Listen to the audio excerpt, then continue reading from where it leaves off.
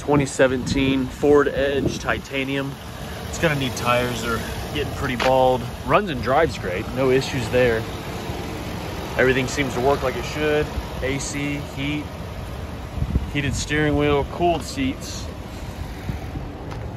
Has a remote start, two key fobs. I don't see any major dents, dings, scratches, memory seats. Still a little dirty. I need to get them to wash it up a little bit more.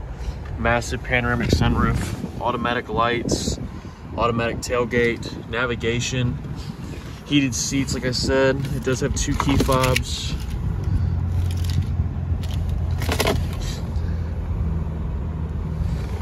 Oh, it is stained up here though.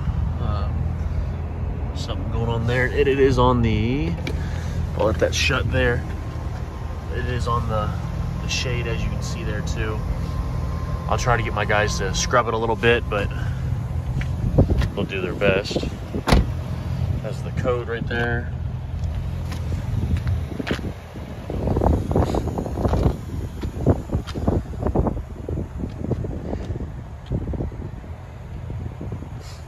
Heated seats in the rear with some plug-ins.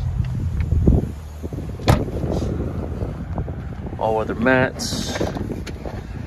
Spare tire.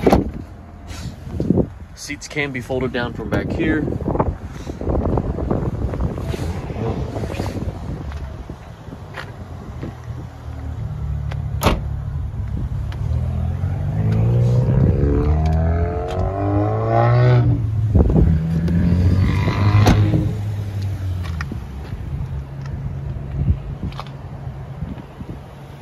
Doesn't seem like a bad car at all. Just needs some tires and cleaned up a little bit better.